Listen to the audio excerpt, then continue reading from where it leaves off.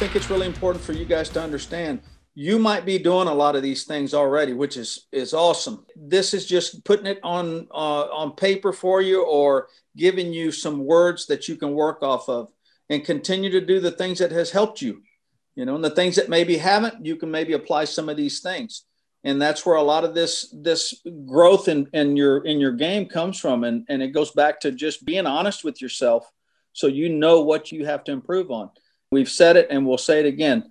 Get help from your mentors. Get help from people that that care about you because they, they they're they're going to give you the direction that you need. And if and you keep looking until you find those people that can that can direct you and help you.